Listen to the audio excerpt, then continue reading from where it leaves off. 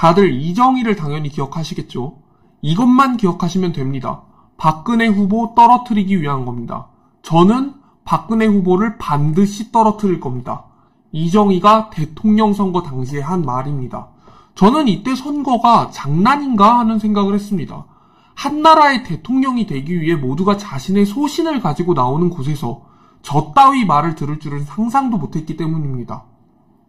최근 이정희는 국가보안법이 악법이라며 혐오, 폭력, 야만의 법이라며 늘 그랬듯 아주 극단적인 선택과 발언을 이어나가고 있습니다. 자, 그녀가 무슨 말을 하는지 들어보면 노조를 국가 안보를 위롭, 위태롭게 하는 내부의 적으로 보게 하는 생각의 근거가 바로 국가보안법이다. 국가보안법은 노동조합원들을 차별과 배제, 혐오의 대상으로 만든다라고 주장합니다. 맞는 말일까요? 일단 국가 안보라는 것은 국가에서 가장 중요한 일입니다. 우리는 전쟁이 끝난 국가가 아닙니다. 휴전국이죠. 언제든지 전쟁이 일어날 수 있고 북한은 호시탐탐 아래를 노립니다. 우리의 주적은 누가 보아도 북한이죠. 이런 상황에서 국가보안법 폐지? 이거 어느 나라를 위한 겁니까? 제가 듣기엔 북한만 좋은 일 하는 것 같은데 아닌가요? 그리고 다음 노조에 대한 국민 의식이 안 좋은 이유가 국가보안법 때문이다. 정말 그렇습니까? 20대, 30대 대부분은 국가보안법이 뭔지도 모릅니다.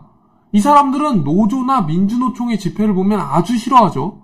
그 이유가 뭐라고 생각합니까? 맨날 시민들의 안전과 편의를 무시하니까요. 내가 버스 타고 나가려는데 집회한다고 출근길, 퇴근길 다 막히고 집회한다고 맨날 경찰에 끌려가고 방송에 나오는 폭력적인 모습들 이런 것들 보고 국민들이 보기에 좋은 모습을 볼 리가 없죠. 하나같이 국민들이 싫어할 짓만 골라서 하면서 그게 국가보험법 때문이다.